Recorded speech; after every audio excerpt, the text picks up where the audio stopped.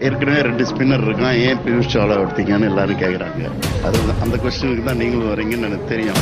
but எங்கள் தலைவனுக்கு என்ன வேணும்னு தெரியும்